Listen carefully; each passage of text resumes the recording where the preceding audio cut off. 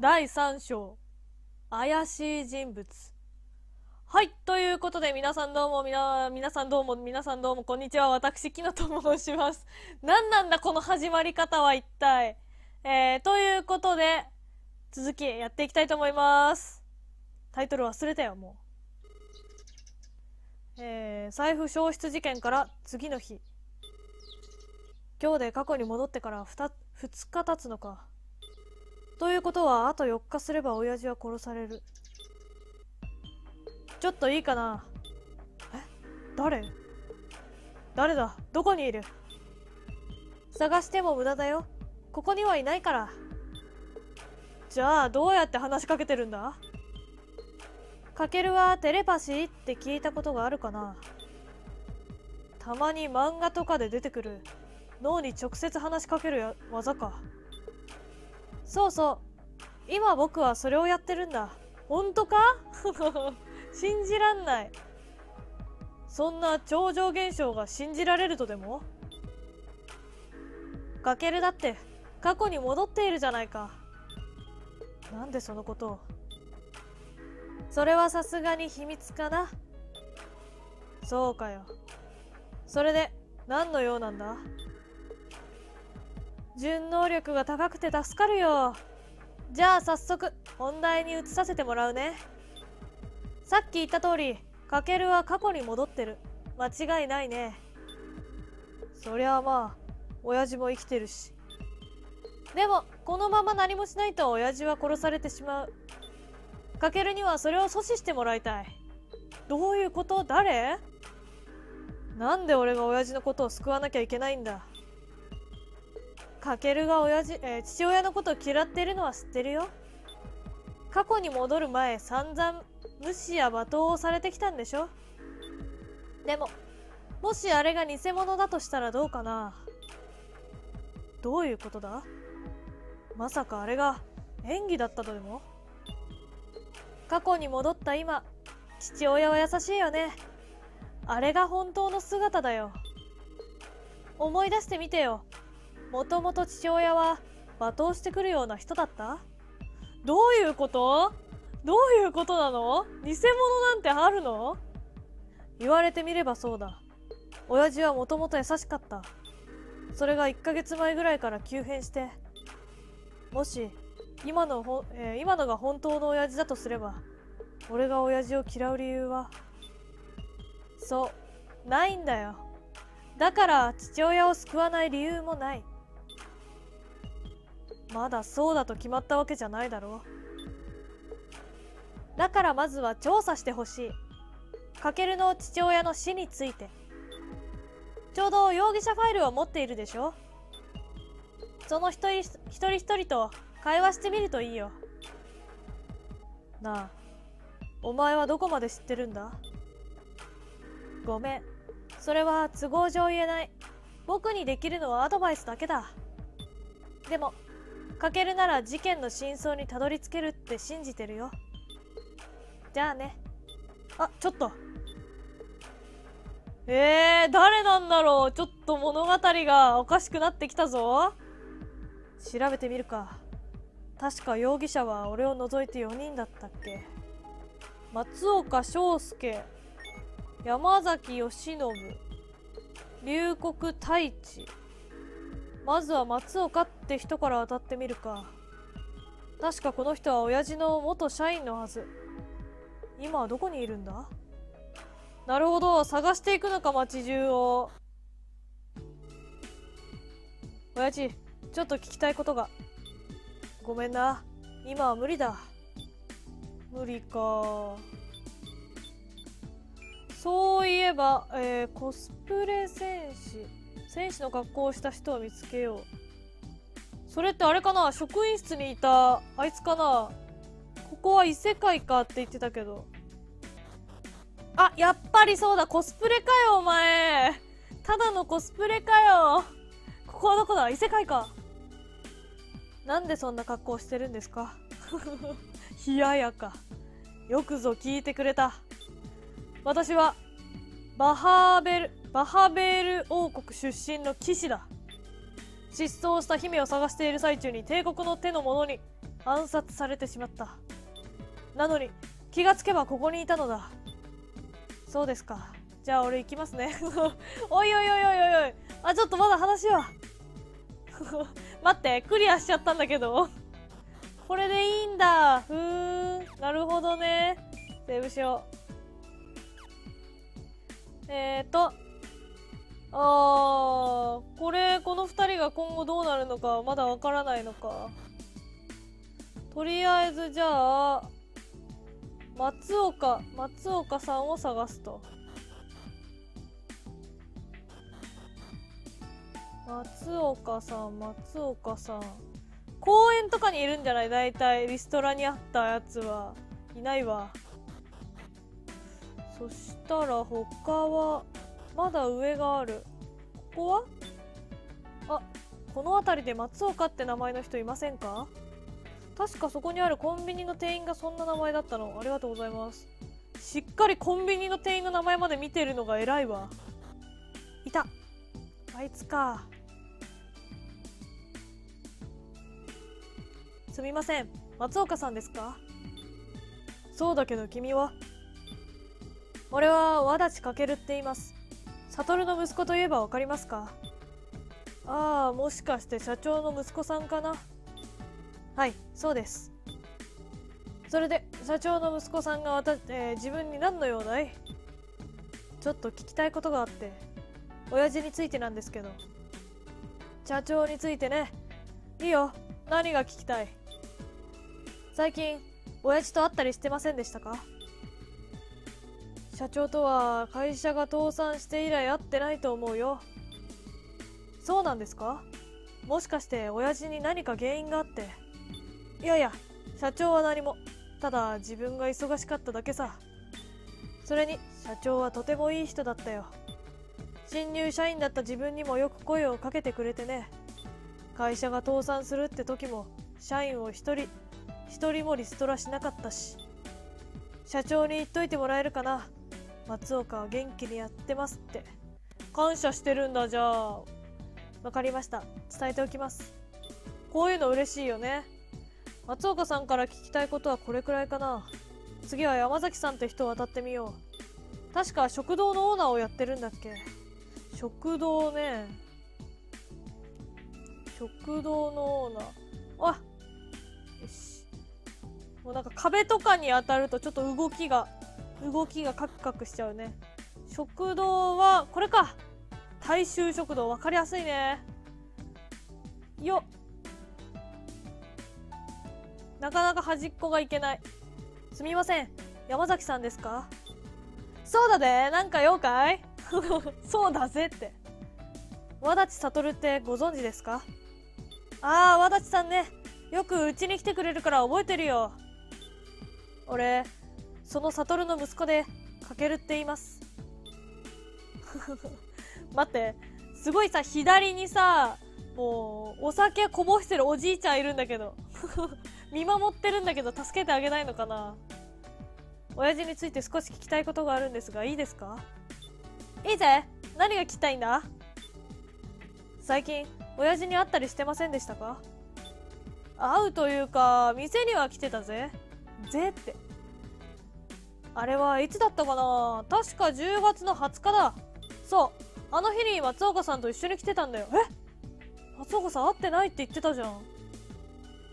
松岡さんって親父が経営していた会社の社員だった人ですか？おうよく知ってるな。どういうことだ？さっき松岡さんは会っていないと言ってたぞ。すみません。他に何かありませんでしたか？うーんそうだ。あの日は和立さんが酔いつぶれて大変だったんだよ。なんだか自分を責めてるみたいだったけどね。聞きたいことはこれくらいか。そうですか。お話ありがとうございました。おうまたいつでも来な。次はなんだっけ竜谷さんのところだな。なんだったっけ？親父が取引していた会社の社長か。ちょうどこの隣のビルだな。松岡さんのことも気になるけどまた後でにしよう。なるほど。山崎さんの発言を手に入れた。おすすめは牛丼。了解しました。おじいちゃん。おじいちゃん。あれ。おじいちゃん。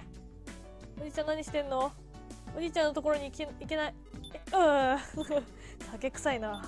絶対それでこぼしたんだ。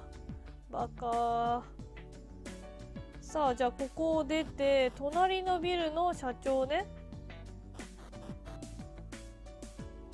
あお弁当の旦那さん。娘が近くまで来てくれているんだ。張り切っていくぞ。ああの子が娘さんか。あいた。超悪そう。待って待って一旦閉じたいな。えー、っとデータ。龍谷太一か。龍谷ね。龍谷太一。あの和立悟って分かりますか？俺はその息子です。ああ和立さんね。覚えているぞ。もちろん。なぜ和立さんの会社とはよく取引していたからな。その親父のことで聞きたいことがあるんですがいいですか？ああいいだろう。それで何が聞きたいんだ？最近親父と会ったりしませんでしたか？いや直接は会ってないな。ただ前に店に店にいるのを見かけたっけな。ちょうど1週間前だったか。店っていうのはこのビルの隣の店ですか？そうだ。10月20日にうちの会社で打ち上げをしてな。その時に誰かと一緒に飲んでたのを覚えてる。その一緒に飲んでいた人物の特徴とか覚えてませんか？すまんな。そこまでははっきりと見ていないんだ。そうですか。じゃあ最後に。その時親父は酔っ払っていましたか？いや酔っ払っているようには見えなかったな。どういうことだ？また発言が食い違っている。誰かが嘘をついているのか？なるほど。お話ありがとうございました。ああ和立さんによろしく言っといてくれ。最後は一条の父さんか。一条の家にはいるかな？えー、どういうこと？すごい刀が飾られてる。どういうことなんだろう？大衆食堂にいたのは間違いはないけど酔いつぶれてはいなかったと。松岡さんは会ってないとも言ってたし。ここか。えなんで突然 BGM なくなんの？ついたな。そういえば一条に一条の親父のことで何かあれば報告するって約束したっけな。俺が一条の親父に親父について知っていることを話すべきか。僕はそうした方がいいと思うね。わ突然出てくるなよ。うん反応が薄いな。僕たちまだ会って2回目だよ。会ってないけどね。かけるはちょっと超常現象になれすぎじゃないかい？余計なお世話だよ。それでなんでお前は言った方がいいと思うんだ？もし話すとなると過去に戻ったことまで説明することになるんだぞ。とてもじゃないが信じてもらえるとは思えないね。大丈夫だよ。彼女なら。どうしてそんなことがわかるんだよ。前にも言ったけど詳しいことは言えない。今言えることはこのままかける一人じゃ真実にはたどり着けないということ。協力者が必要だ。彼女ならきっと協力してくれるはずさ。確かにすでに3人から話を聞いたけどみんな言っていることが全く噛み合ってない。あと一条の親父さんが残ってはいるが正直手詰まり状態だ。一条に話してみるか。決まったようだね。じゃあ僕はこれで。いつでも脳の中を聞けちゃ脳の声を聞けちゃうって嫌だね。なんだかあいつにアドバイスされてばっかりな気がするな。でもなんでだろう。あいつの言葉には妙に信頼性があるというか。今は一条を探すことに専念しよう。多分学校のどこかにいると思うんだけど。なるほど風花を探そう。じゃあ家には行かずにとりあえず学校に行くっていうことかな？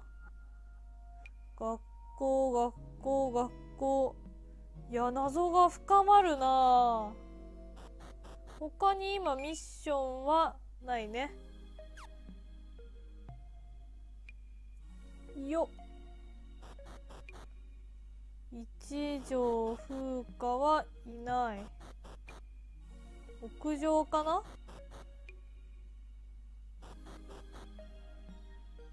あいた。一条。やっぱりここにいたのか。あ和立くん。どうしたの？前に一条の親父さんのことで何かあれば話すって約束しただろ？そのことについて話したいことがあるんだ。俺は一条にこれまで起きたこと、えー、起きたことの全てを話した。お父さんが容疑者に。ごめん。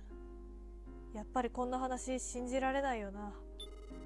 その上親父さんが事件の容疑者なんて。いや信じるよ。さすがにお父さんが容疑者なのはショックだけど。でも最近のお父さんの様子を見ているとそれもうなずけるし。あいつの言っていた通りだ。なあどうしてこんな突拍子もない話を信じることができるんだ？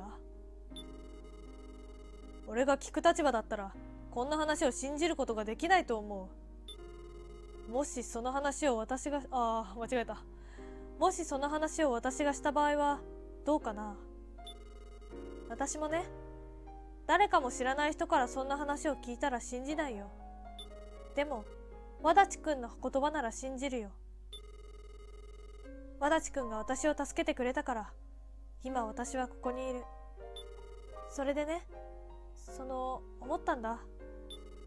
和立くんが困っている時次は私が助けようって。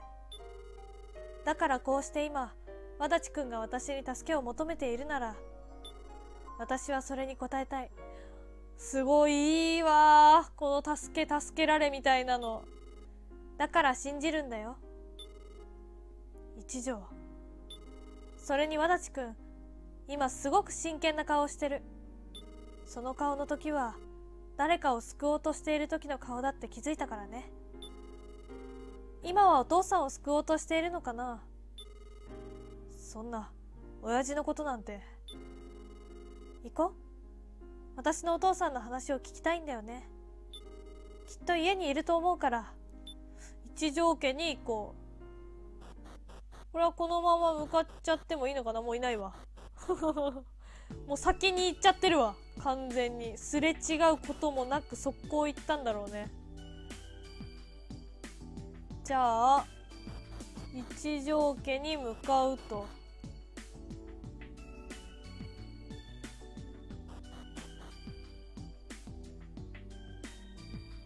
はい。おいたね。ちょっといいですか？ん？かけるくんじゃないか。おや風花も一緒なのかい？うん。ちょっとお父さんに聞きたいことがあって。なんだい聞きたいことって？最近親父に会いましたか？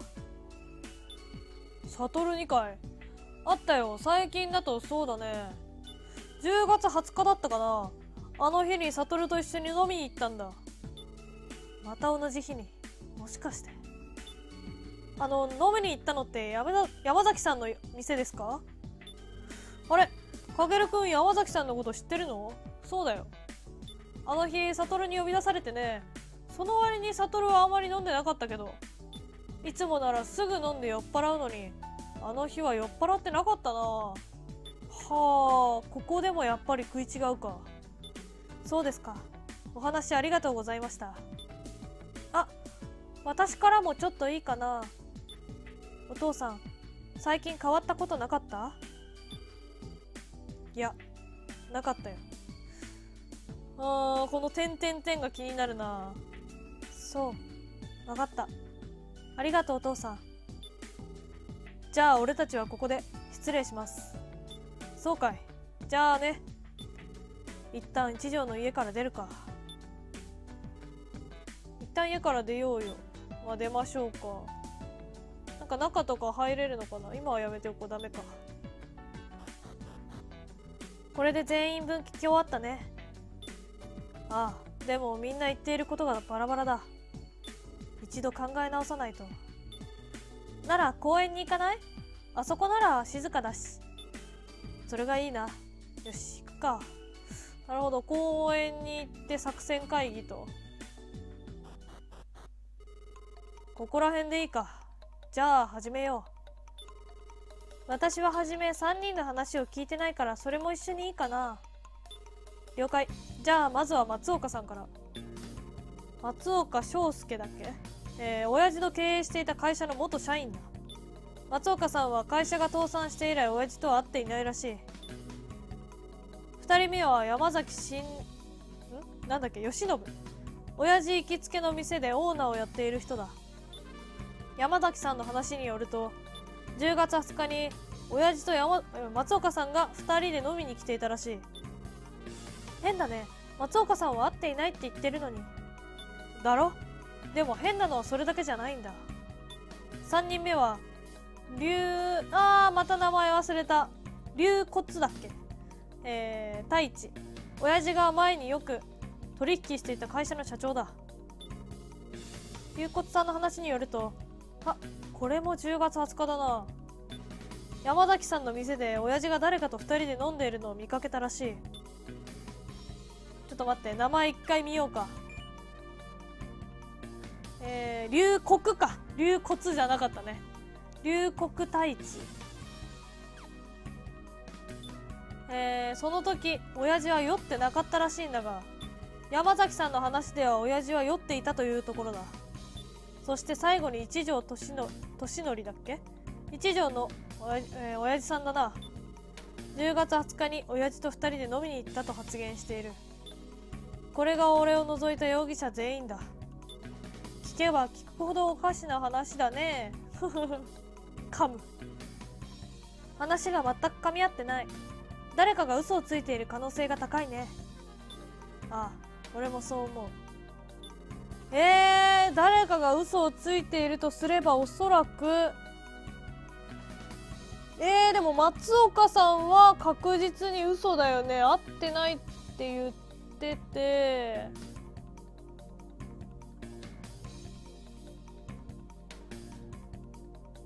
そっか会ってないのは正しくて。山崎さんが松岡さんじゃないのに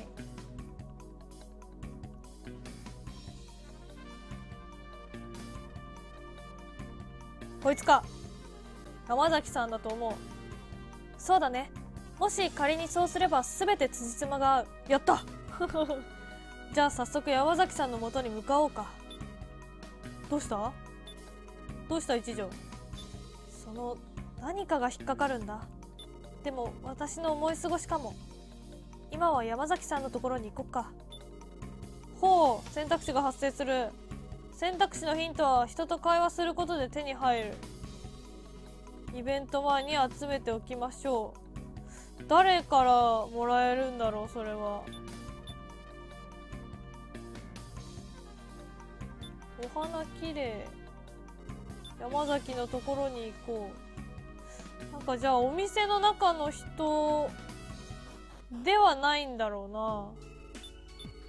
友達全然来ねえな。あやばい間違えて入っちゃった。山崎さん何度もすみません。少しいいですか？おうどうしたんだい？担当直入に言います。山崎さんさっき嘘をつきませんでしたか？実は俺たち山崎さんの他にあと3人話を伺ったんです。まずは松岡さん。松岡さんは最近親父と会っていないと言っていました。でもおかしいんです。それじゃあ山崎さんの話とは違う。次に龍谷さん。龍谷さんは10月20日にこのお店で会社の打ち上げをしていたそうです。その時この店で親父が誰かと2人で飲んでいるのを見かけたらしいです。そして龍谷さんはこうも言っていました。親父は酔っ払っていなかったと。ここでもまた山崎さんとは言っていることが違うんです。最後に一条さん。10月20日一条さんは親父と一緒にこの店で飲んでいたらしいです。一条さんもまた親父は酔っ払っていなかったと発言しています。これらの全く噛み合ってない発言ももし仮に山崎さんの発言が嘘だとすれば辻褄が合うんです。山崎さん本当のことを話してくれませんか？いやいやちょっと待ってくれ。俺は嘘を言っていない。そもそもその話にはおかしな点が一つある。え？どういうこと？龍谷さんの発言だよ。龍谷さんはこの店で打ち上げをしたって言ったんだろ？はい間違いありません。それはおかしな話なんだ。うちは打ち上げなどの宴会は完全に予約制でやってるんだ。だけど10月20日に龍谷さんのところの予約はなかったんだ。なんなら記録を調べてもらってもいいぞ。そんな。和立くんちょっといいかな。実は私もねずっと違和感があったんだ。違和感？それ先に言おうよ。そうこれまでの話だと10月20日松岡さん以外は全員がこの店にいたことになる。山崎さんが嘘をついていないとすれば全員だね。でもそれって妙じゃないかな。全員が同じ日で同じ店にいる。たまにこんなことはあると思うけどこんないいタイミングで起きるものなのかな。まあ確かにね。あとね私のお父さん。足立くんのお父さんとは10月20日以降会っていないって言ってたけど一緒に住んでたらわかる。20日以降も会っていたはずだよ。えー、つまり山崎さんが嘘をついていないとすれば嘘をついているのは？山崎さんが嘘をついていないとすれば松岡さんと龍谷さんか松岡さんと一条のお父さん。あー間違えてる。山崎さん以外の全員なるほど。和立くんこれが本当なら急いだ方がいいかもしれない。和立くんが話を聞きに行ったことで警戒されているかもしれないから。そうだな。あれ？どうかしたの？さっきこの店に来た時に見た光景と今とで何かが違う気がする。ええー、机の数は減っててない。親父がいなくなってる。いない。ガスボンベが消えてんのか。山崎さんそこにあったガスボンベはどうしたんですか？よく気がついたな。どうやら盗まれたみたいなんだ。でもガスボンベなんか盗んでどうするんだろうな。いややばいんじゃない？ガスボンベが盗まれた。消えたばガスボンベを保存した。足立くん急いだ方がいいよ。まずは龍谷さんのところに行ってみるか。ほうなるほど。ちょっとじゃあセーブして行きますか。龍谷さんのところに行こ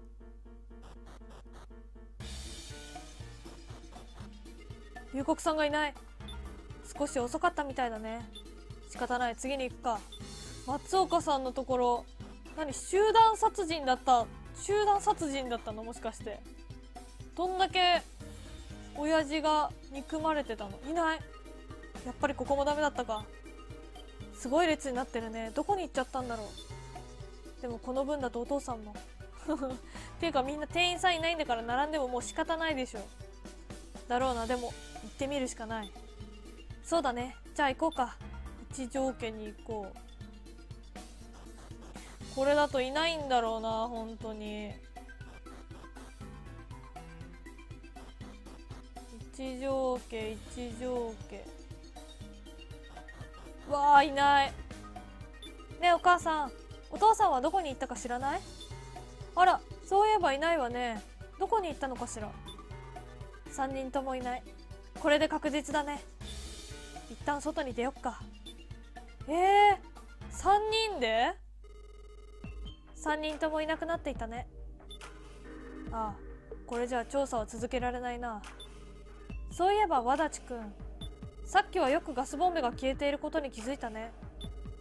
いや多分ガスボンベじゃなかったら気づかなかったと思う。ガスボンベじゃなかったら？過去に戻る前取り調べを受けていた時に刑事が言ったんだよ。君にはガスボンベを入手することができないだろうしって。この言葉はずっと頭の中で引っかかっていたんだ。だから気づけたんだと思う。なるほど。そのガスボンベって何だろうね？事件に使われたとか？実は俺親父がどうやって殺されたのか知らないんだ。こんなことになるなら調べておけばよかったな。さすがに過去に戻ることは誰も予想できないよ。事件現場は和立くんのお父さんの部屋なんだよね。一回行ってみない？もしかしたら何かがわかるかもしれないよ。それもそうだな。ってみるか。いやこの章かなり長くなりそうですね。どうなんだろう。あるのかな。お父さんの部屋はこっちかな。ほうあれ？親父はいないのか。和立くんどうかした？いや大丈夫。そっか。それにしてもここで事件が起きるんだよね。とてもそうには見えないよ。でも事件が起きる前じゃ何もわからないね。事件が起きる前と起きた後で何か違いはなかった？そういえば事件があった次の日の朝俺が親父の部屋に入ろうとしたら扉のすぐ外にリビングの中央にあるはずの机が置いてあった。あの机は結構重たいからどけて入るのに苦労したんだ。ということはもしかしてやっぱりどういうこと？わかんない。まだちくん多分お父さんはガス中毒で亡くなったんだと思う。あーなるほど。外に出られなくなって。ガス中毒で？うん。この扉を見てもらえるかな。外開きになってるでしょ？部屋の扉が外開きなのは珍しいんだけど今重要なのはそこじゃない。もし外から何かで押さえつけられたら中にいる人は出られないということ。